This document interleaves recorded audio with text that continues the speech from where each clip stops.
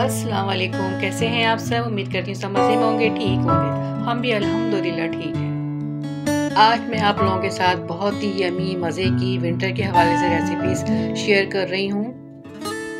और वो रेसिपीज़ हैं सरसों का साग, मकई की रोटी। वीडियो को एंड तक ज़रूर देखना। आप लोग बहुत यमी रेसिपी आप लोगों के साथ शेयर कर रही हूँ। और यकीनन आप लोगों को पसंद आएगी, क्योंकि सभी को पसंद होता है सरसों का साग, मकई की रोटी। तो वीडियो को आप लोगों ने एंड तक देखना है। रेसिपी के साथ साथ और भी बहुत कुछ है वीडियो में। आज जो हम साग बना रहे हैं, तकरीबन छः किलो साग है और तीन किलो इसमें पालक डली है और आधा किलो इसमें डला है बथवा तो टोटल इसका वज़न हो गया नौ, साढ़े नौ किलो। और आज की वीडियो मैं भाई के घर में बना रही हूँ, क्योंकि भाभी के साथ प्लान बनाया था मैंने साग बनाने का तो मैं भाभी मिल के ये साग बना रही हूँ। और माशाल्लाह सभी शौक से खाते हैं तो ये थोड़ा तो बनता नहीं है। और ये कि साग तो कितना देखने में लगता है, जब पकता है तो कितना सा हो जाता है। तो भाभी के साथ प्लान बनाया था कि हम मिल के बनाएँगे और अच्छा ज़्यादा बनाएँगे, ताकि एक से दो दफ़ा तो खाएँ। बस यहाँ पे हम लोग सब मिलके साग तोड़ रहे हैं। भतीजी भी लग गई थी, साथ में भाभी थी, मैं थी। तकरीबन हम लोगों को साग, पूरा साग, पालक सब कुछ तोड़ने में दो से ढाई घंटे लग गए थे।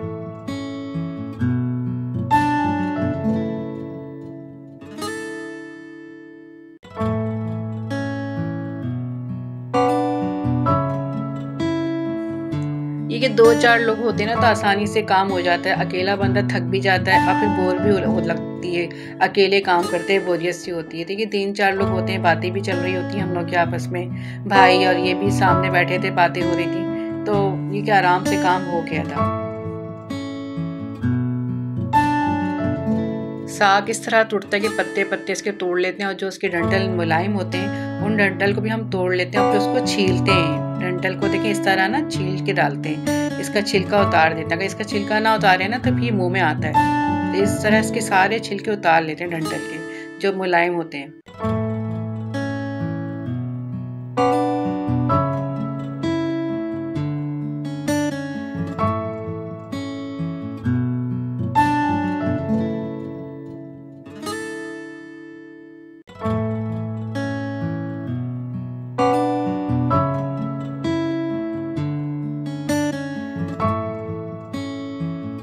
काफ़ी टाइम लग गया था, तकरीबन एक बजे हम लेके पहुँच गए थे भाई के घर साग और तैयार जब हुआ था तो हम लोगों ने खाना लगाया था साढ़े नौ, पौने दस पे। शाम के वक्त वहाँ पे ये कॉटन कैंडी वाला आ गया था तो भाभी को भी पसंद है, बच्चों को भी पसंद है। तो भाई ने फिर सबके लिए कॉटन कैंडी मंगवा ली थी। तो बस थोड़ी सी मस्तियाँ हो गई थी, क्योंकि थक गए थे बैठे बैठे तोड़ते हुए तो सब उड़ गए थे। थोड़ी देर उन्होंने कॉटन कैंडी खाई, फिर नमाज़ पढ़ी असर के बीच में। बच्चे तो वैसे ही खुश थे कि हम लोगों के जाने में बहुत खुश होते हैं। बच्चे तो खुश थे कि आज पप्पो यहीं पर ही खाना भी यहीं खाएँगे। ये देखें कॉटन कैंडी किस तरह बनती है। ऊपर हम टेरिस में खड़े वीडियो बना रहे थे इसकी। भतीजी भी मेरे साथ खड़ी हुई थी तो हम लोग यही देख रहे थे कि कितने मज़े से कॉटन कैंडी बन रही थी।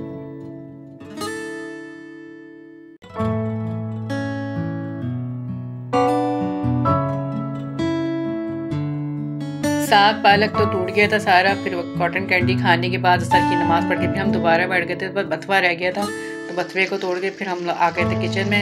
अब साग की धुलाई का काम शुरू हो गया था, काफ़ी टाइम लग गया था धोने में, क्योंकि साग में तो मट्टी भी कितनी होती है।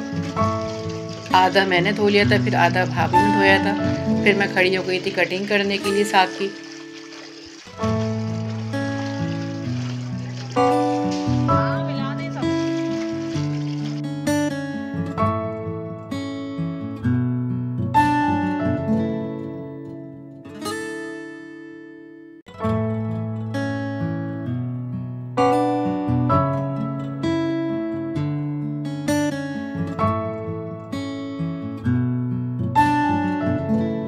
बारीक तो नहीं, बस रफली कटिंग करते हैं इसकी, क्योंकि इसको तो घोटना होता है, घोट घोट के पकता है पूरा।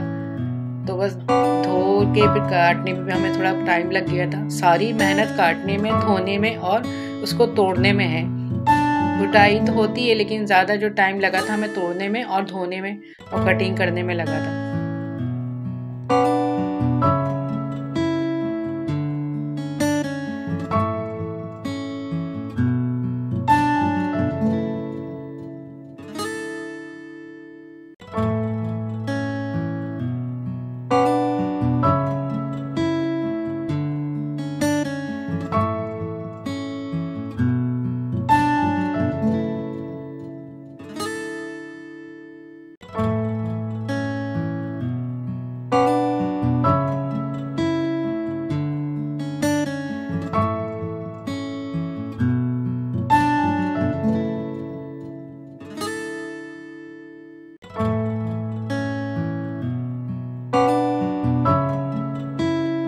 इतना टाइम लग गया था तो हम लोग कटिंग करते हुए यही कह रहे थे कि कितनी मेहनत है इसमें और कितना टाइम हम लोगों का लगा। और खाने में तो फटाफट खा पी के फारिग हो जाएँगे। और कहते हैं, लेकिन ये कि इसको बनाने में बड़ी मेहनत है। ज़ाहिर इतना मज़े का लगता है, पसंद भी सबको है। तो कभी कभी इस तरह मिल के मेहनत कर लेते हैं। और फिर ये, यो इतना ज़्यादा भी बनाने का मकसद यही था कि जब इतनी मेहनत कर रहे हैं तो इतना तो बनाए ना कि एक से दो बार खा लें। ये इसके जो डंडल हमने छील के रखे थे, उसको भी मैंने बारीक काट लिया था। ये वो सारा मसाला है जिसमें गया था आधा पाव हरा लहसन है, आधा पाव हरी मिर्चें छोटी वाली और आधा पाव हमारा देसी लहसन था इसमें और आधा पाव हमने अदरक ली थी। ये सारी चीज़ें धो के काट ली थी। अब ये भी साग में ही जाएँगी बॉयल होते वक्त। और साग हम धोते जा रहे थे और पतीले में डालते जा रहे ताकि पकता रहे तो पतीले में जगह बनती रहे। अब सारा साग धुल गया था, तब क्योंकि धुलाई कर रहे थे हम पहले उसकी साग की और साथ में पतीला भी रख दिया था, उसमें डालते जा रहे थे, ताकि सॉफ्ट हो के इसमें पतीले में जगह बनती रही। डंडल भी देखें, इसमें डाल दिए सारे। ये सारी एक साथ इसकी घुटाई होगी। अभी बथवा रह गया, अभी वो धुल रहा है तो वो भी फिर इसमें हम डाल देंगे।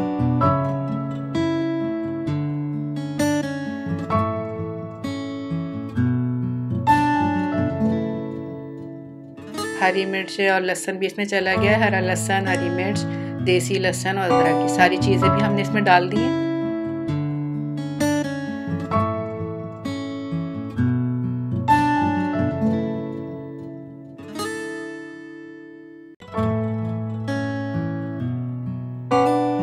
इतनी फैलान हो गई थी, किचन के सारे छन्ने थाली निकल आई थी। धो के भी रखना, फिर काट के भी रखना तो कितना फैल गया था, अल्लाह।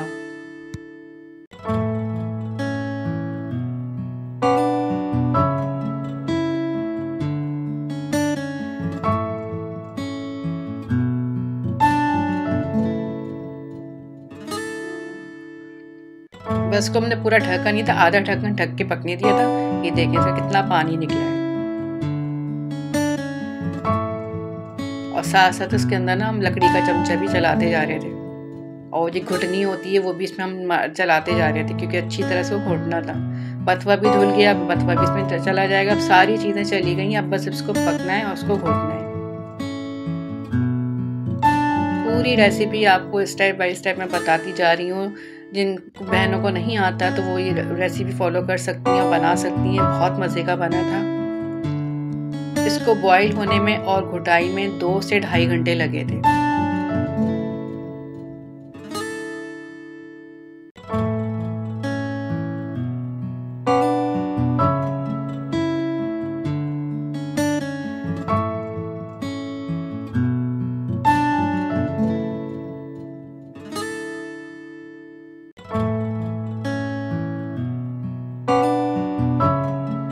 तक साग बॉईल हो रहा है और उसकी घुटाई हो रही है तो हम रख देते हैं मकई का आटा गूंद के। सिंपल पानी से जैसे हम गेहूँ का आटा गूंदते हैं ना अपना सिंपल रोटियों का, बिल्कुल उसी तरह ही आटा गूंदा है। कोई इसमें गर्म पानी यूज़ नहीं करा गूंदने में और कोई ऑयल नहीं डाला सिंपल इसमें नमक डाल के और हमने आटा गूंद लिया। तो बस पानी के आग कम थोड़ा थोड़ा करके डालना है, एकदम नहीं डालना और थोड़ा सख्त सख्त सा गूंदना है ये आटा।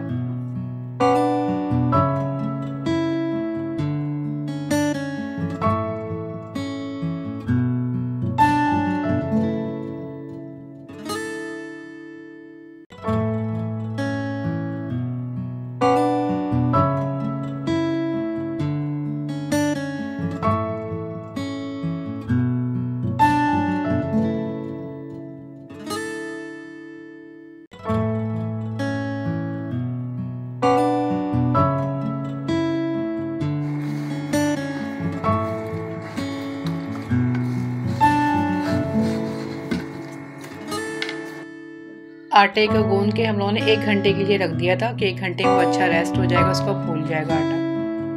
बाहर ही फ्रिज में नहीं रखा था, बाहर ही गूंद के रख दिया था एक घंटे मौसम ठंडा है, अब तो आटा ख़राब नहीं होता बाहर। तो एक घंटे के लिए रख दिया था।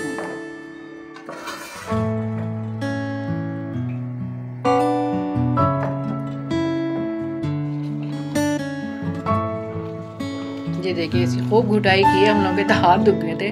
भाभी ने, मैंने भतीजी ने भी और फिर भतीजा भी आ गया था, उसने भी घुटाई करी। तो ये कि अच्छा घुट गया था, सबके हाथ लगे। इसमें हम डाल देंगे मकई का आटा।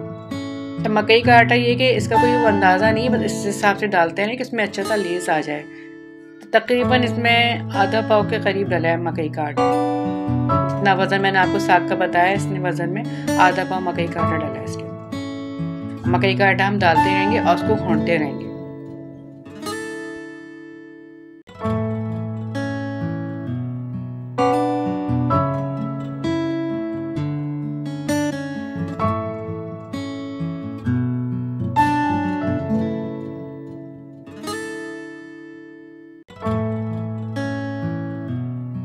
असल शक्ल साग की ना, मकई के आटा डलने के बाद आती है, बिल्कुल स्मूथ सा चिकना सा लेस वाला जो बनता है, वो आटा डलने के बाद आता है।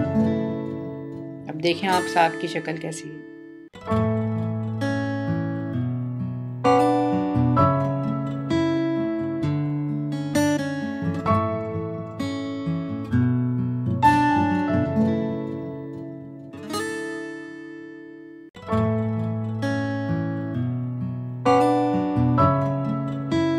डलने के बाद भी तकरीबन एक घंटा हमने पकाया था साग। इस अंदाजे से डालना है हमने आटा के जब साग तैयार होने में एक घंटा रह जाए तो फिर उसमें आप आटा डाल दें।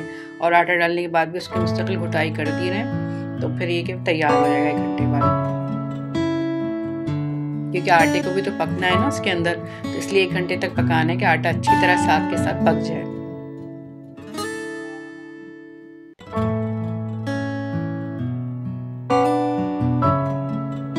की घुटाई भी चल रही थी, आप यहाँ पे हम रख देंगे हांडी में। तेल गर्म होने, इसमें सरसों का तेल का भगाड़ लगेगा।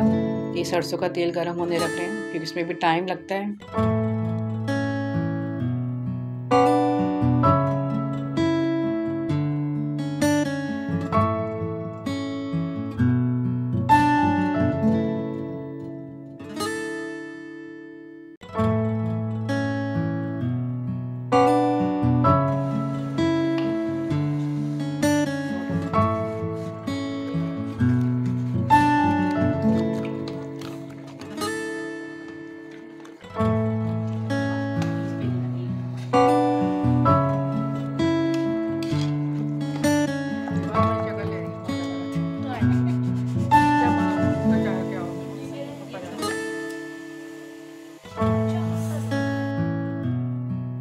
आटा डालने के बाद फिर इसका नमक चेक कर रहे थे कि नमक सही है कि नहीं।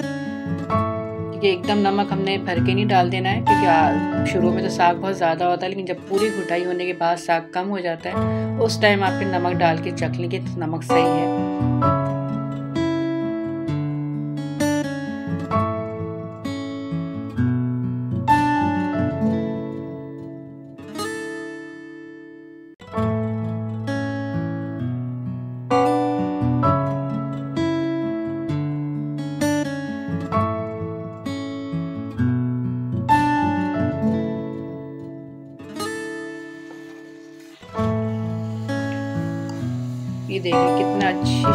शक्ल आई है की बिल्कुल चिकना हो गया था लेस वाला।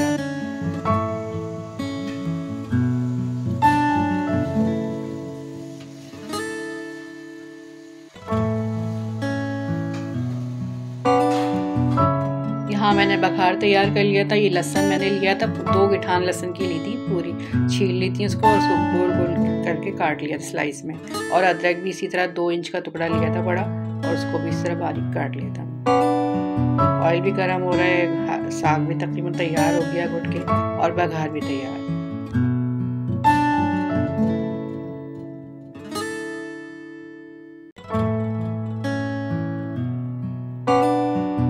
यहाँ पे भतीजा अपनी पढ़ाई में मसरूफ़ था, माशाल्लाह भतीजा मेरा सीए कर रहा है तो वो भी पढ़ाई में बिज़ी था बीच बीच में आवाज़ें लगा था कि आप लोग कब फारिग होंगे, कब बैठ के बातें करेंगे। ऑयल गर्म हो गया, अच्छी तरह आप इसमें हम डाल देंगे बघार।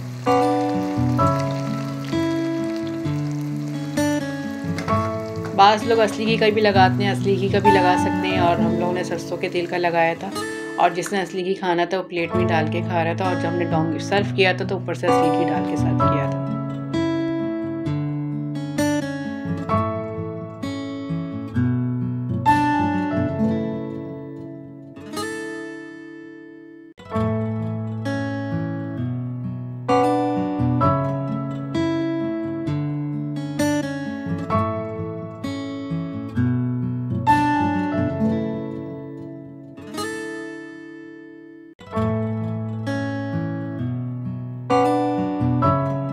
लहसुन का बहुत ज़्यादा डार्क नहीं करना, जलाना नहीं है।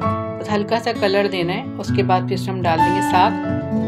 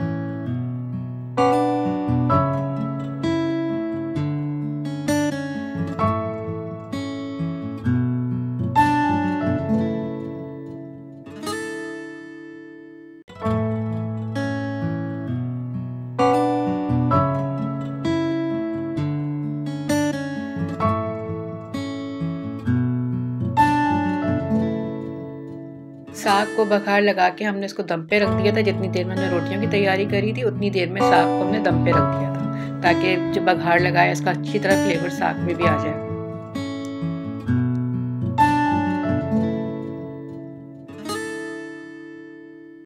सादी रोटियाँ भी बनाई थी सिंपल आटे की जो बनती हैं रूटीन में, क्योंकि सबको तो मकई की रोटियाँ नहीं पसंद थी, बच्चे तो मना कर रहे थे, पता नहीं कैसी है, लेकिन ये बच्चों के लिए सादी रोटियाँ बना ली थी, और बड़ों ने जो जिन्होंने खाना था मकई के आटे की रोटियाँ, उनके लिए बड़ी मकई के आटे की रोटियाँ बन गई थी। सादी रोटियों में भी घी लगा लिया था असली और मकई की रोटी भी किसी ने घी लगाकर खाई थी और किसी ने जो है सादी खाई थी।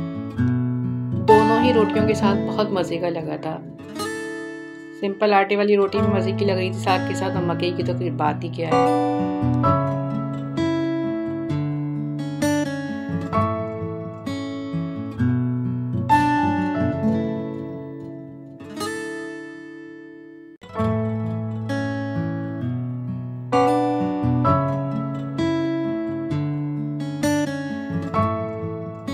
ये जो भी बन रही ये सिंपल आटे की रोटियाँ बन रही हैं।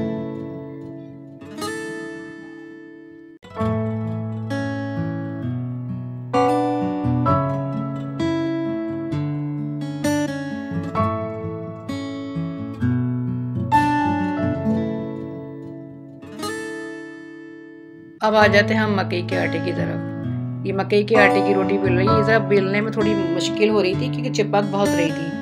आप इसको प्लास्टिक की शीट रख के भी बेल सकते हैं लेकिन हम लोगों ने ऐसी कोशिश करी थी कि इस तरह भी आप लोगों को बताएँ कि इस तरह भी हम बेल सकते हैं। बस हल्के कि थोड़ा सा खुशका ज़्यादा लग रहा था इसमें और बहुत ही हल्के हाथ से इसको बेल रहे थे। ज़रा सा भी प्रेशर बढ़ा लगा रहे थे ना तो चिपक रही थी तो बहुत ही प्यार से इसको बेला और खुशका लगा लगा के। थोड़ी सी रोटियाँ मुश्किल तो होती हैं बाजरे की रोटी हुई बेस, बेसन की रोटी हुई या मकई की रोटी हुई तो बेलने में थोड़ी सी मुश्किल होती है, लेकिन बिल जाती है तो थोड़ी सी आसान ट्रिक होती है, आप यूज़ करें तो आराम से बिल जाती है, इतनी मुश्किल नहीं है, क्योंकि बाद लोग कहते हैं कि बहुत मुश्किल काम है, मकई की रोटी बनाना या बाजरे की रोटी बनाना तो इतना मुश्किल नहीं है ये। मकई की रोटी मैंने तवे पे भी सेंक ली थी, मैंने कहा आपको दोनों तरह से बता दूँ, तवे पे भी सेंकी थी कपड़े के साथ और मैंने चूल्हे पे भी सेंक के बनाई थी, दोनों ही तरीके से बहुत अच्छी बनी थी रोटियाँ। जो चूल्हे पे नहीं सेकना चाहे वो तवे पे सेक लें। दोनों तरफ़ से तवे पे सीख गई थी आराम से, और चूल्हे पे भी सीख गई थी। और दोनों ही तरह से अच्छी सीखी थी। मज़ेदार, कोई कच्ची नहीं थी, कुछ नहीं था। बहुत अच्छी, बहुत अच्छा टेस्ट आ रहा था मकई का इसमें। साग भी हमारा दम पे तकरीबन हो गया था।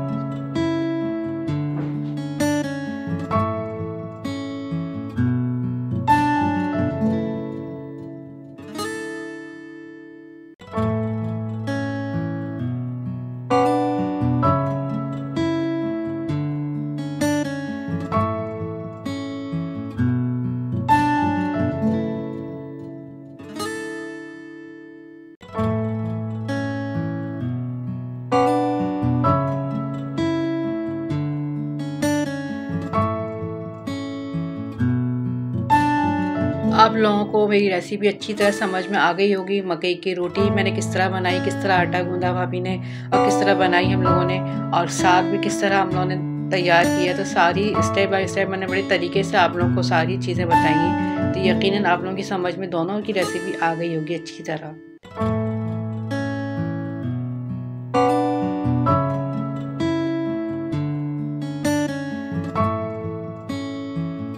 काफ़ी टाइम हो गया, सभी को बहुत भूख लगी हुई थी, बस फिर हमने रोटियाँ तैयार करने के बाद खाना लगा दिया था। फिर सबने मिलके खाना खाया, बहुत पसंद आया, साग भी, रोटी भी।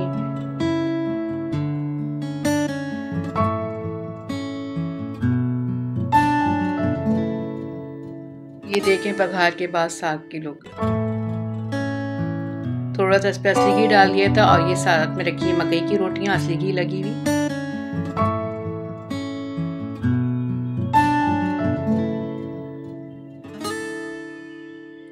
सब रोटियों पे घी असली घी लगा दिया था मकई की रोटी पे।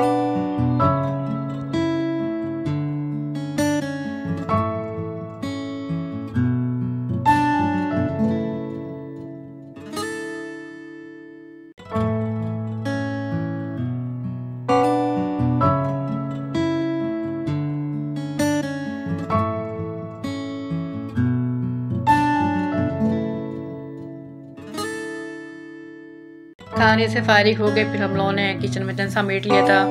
भाभी ने पूरा किचन समेटा थोड़े से बर्तन मैंने भी धुलवा लिए थे। उसके बाद फिर हमने नमाज़ पढ़ के फारिग हो गए थे। रात में भाई ने फिर सबके लिए मूँगफली मंगवा ली थी, गजक, मूँगफली, रेवड़ियाँ। तो रात में फिर इन सब चीज़ों का दौर चला, फिर बातें भी हुई। अच्छा टाइम गुजर गया, बहुत ही मज़ा आया और अच्छा लगा। थक तो गए थे, लेकिन बाकी थकन अपनी जगह थी, लेकिन जो हम लोगों ने इन्जॉय किया ना टाइम पूरा, बहुत अच्छा गुजरा टाइम